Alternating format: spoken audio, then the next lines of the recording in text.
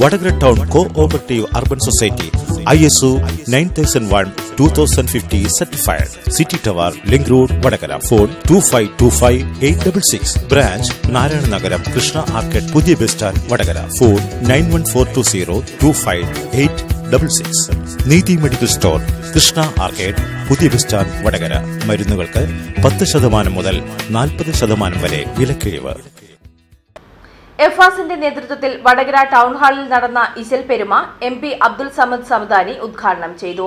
P T Abdurahman അനുസ്മരണവും award സമർപ്പണവും ഇതോടൊപ്പം നടന്നു.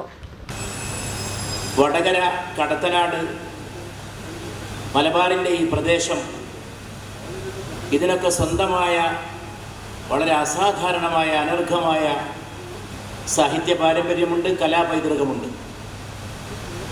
യഫാസ് അതിനെ ഉണർത്തുന്നതിന് വേണ്ടിയുള്ള പ്രവർത്തനങ്ങളിൽ മുഴുകിയിട്ടുള്ള പ്രസ്ഥാനമാണ്.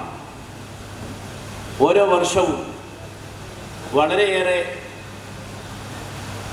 സഹൃദയത്വമുള്ള പരിപാടികൾ സംഘടിപ്പിച്ച് നമ്മുടെ കലയുടെ സംസ്കാരത്തിന്റെ ഭൂതകാല സ്മൃതികൾ ഉയർത്തുകയും ഭാവിയിലേക്ക് പുതിയ പ്രത്യാശകൾ നൽകുകയും ചെയ്യുന്ന എഫാസ് ഈ തവണ പി ടി അബ്ദുറഹ്മാൻ എന്ന വലിയ കവിയുടെ പേരിലുള്ള പുരസ്കാരം നൽകുന്നതിന് നമ്മുടെ പ്രിയങ്കരനായ ഈ നാടിന്റെ ഹൃദയം കവർന്നിട്ടുള്ള തന്റെ അസാധാരണമായ ഗാനസിദ്ധി കൊണ്ട് സ്വതസിദ്ധമായ സ്വര സൗന്ദര്യം കൊണ്ട് ഒക്കെ തന്നെ നമ്മുടെ നാടിന് മറക്കാൻ കഴിയാത്ത പീർ മുഹമ്മദ് സാഹിബിനാണ് അത് നൽകാൻ തീരുമാനിച്ചിട്ടുള്ളത്.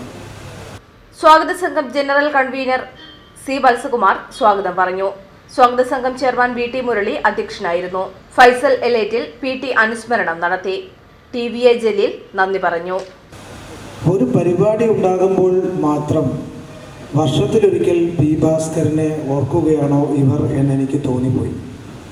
കാരണം പി ഭാസ്കരൻ രചിച്ചിട്ടുള്ള വളരെ ഓരോ ചരിത്രഘട്ടങ്ങളിലും സിനിമയുടെയും സാഹിത്യത്തിന്റെയും അല്ലെങ്കിൽ ഗാനത്തിന്റെയും ഒക്കെ ഓരോ ചരിത്രഘട്ടങ്ങളിൽ പി ഭാസ്കരൻ ചെയ്തിട്ടുള്ള സേവനങ്ങളെ ഒട്ടും മനസ്സിലാക്കാതെ